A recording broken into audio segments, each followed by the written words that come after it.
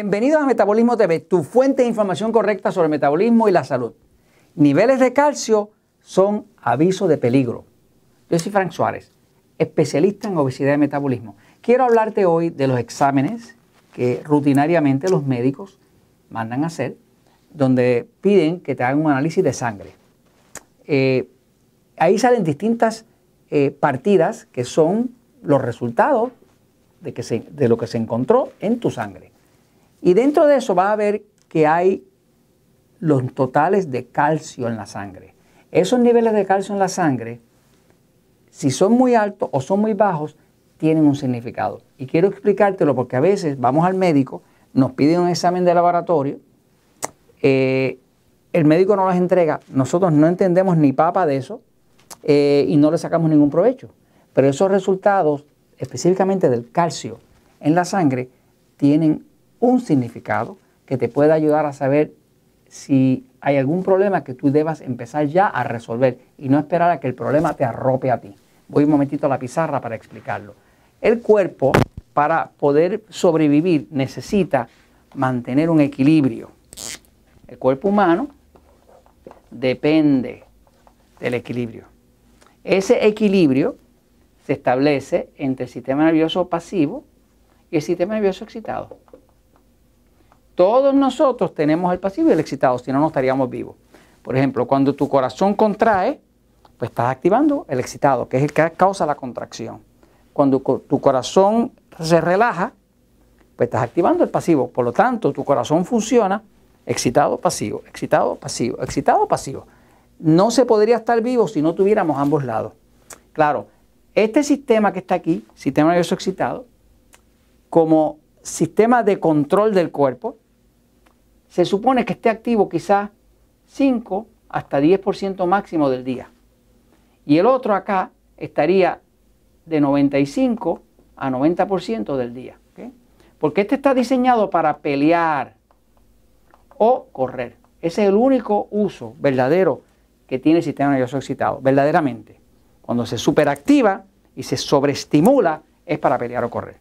En ese momento todo en el cuerpo funciona distinto los ojos se ponen más grandes, los sentidos se avivan, la sangre sube al cerebro, va a los músculos y a las áreas donde, que, se necesitan para movilizar el cuerpo y defenderse. Ahora, cuando eso pasa, eso se activa, todos los órganos del centro sufren porque ahora por aquí pasa muy poca sangre. Y como pasa muy poca sangre, esos órganos están con mala circulación y le falla la circulación al hígado, y le falla la circulación al estómago, le falla la circulación a todos los órganos internos que mantienen todos los otros sistemas del cuerpo. Quiere decir que el cuerpo para poderse defender lo que hace es que activa solamente aquello que tiene que ver con la defensa. Músculos, cerebro, ojos, sentidos y eso. Eh, cuando una persona tiene o más inclinación hacia el lado excitado, nosotros decimos tiene un sistema nervioso predominantemente excitado. Cuando tiene un sistema nervioso predominantemente más hacia el lado pasivo, como el caso mío, pues lo tenemos más hacia el lado pasivo. Ahora, eso sirve para uno saber por dónde uno tendría que moverse para poder equilibrarlo, ¿no? Porque los problemas vienen en el desequilibrio. Todos los problemas de enfermedades vienen o demasiado excitado o demasiado pasivo. Cuando está en equilibrio, no hay problema, solamente existe la salud ahí. Ahora, fíjense, el nivel normal, cuando usted recibe un examen de laboratorio, usted puede ver y se busca el calcio ahí, el nivel normal de niveles de calcio en la sangre, fíjense que donde se mide es en la sangre, porque le sacan una gota de sangre y en esa gota miden cuánto calcio hay. Eh, lo normal es de 8.5 a 10.2 miligramos por decilitro de calcio. Eso es normal. Dentro de ese rango, ¿verdad? Es normal. Hay veces que yo he visto médicos que ven que esto está dando por aquí 12 o esto está dando por aquí 6.5 y el médico no me ha sabido decir qué lo causa. Porque el médico está acostumbrado a trabajar más con enfermedades crónicas y no con indicadores. Eh, no se les adiestra para eso. Eh, claro, hay médicos especializados que conocen estos temas que pueden penetrar, pero el médico común y corriente, el internista común y corriente, el generalista, no, no llega a ese nivel de conocimiento en cuanto a poder detectar un problema, nada más que por mirar eh, los niveles de calcio. Ahora, Cuando el sistema nervioso está muy excitado, pues se causa un estrés severo. Y eso trae lo que llaman una acidosis. Una acidosis es una condición donde hay demasiado ácido. Y al haber demasiado ácido, pues donde quiera que haya ácido va a haber poco oxígeno, porque el ácido destruye el oxígeno. Y cuando falla el oxígeno empiezan a haber problemas de energía en el cuerpo total y en, el metabolismo como tal. ¿no? Ahora, esa pérdida de equilibrio, que es la pérdida de la homeostasis, homeostasis se llama a ese, ese balance que el cuerpo eh, trata siempre de mantener, eh, si, si el examen de laboratorio refleja niveles altos en la sangre de calcio, digamos hacia, hacia este lado, ¿no? Pues ya usted sabe que el cuerpo está rompiendo los huesos y los dientes, que es lo que tiene calcio, para ponerlos en la sangre y alcalinizar la sangre. Por lo tanto, el cuerpo está reaccionando a que la sangre estaba demasiado ácida. Al estar demasiado ácida, el esfuerzo del cuerpo para alcalinizar esa sangre es meterle calcio, que es alcalino. ¿Dónde lo saca? De los huesos y de los dientes. Y eso va a parar a la sangre. Por eso cuando se lo miden van a encontrar niveles altos de calcio en la sangre. Eso quiere decir que el cuerpo está tratando de alcalinizar la sangre, quiere decir que la sangre está demasiado ácida. Ok, ahora, si los niveles, en vez de estar muy altos de calcio, están muy bajos en la sangre, entonces lo que está pasando es que el cuerpo está rompiendo los huesos y los dientes, que son la fuente principal de calcio, del almacenamiento de calcio del cuerpo está entre los huesos y los dientes, lo está rompiendo para alcalinizar los tejidos. Fíjense, si usted mira un torrente de sangre, la sangre debería ser vamos a poner aquí por aquí en rojo, ¿verdad?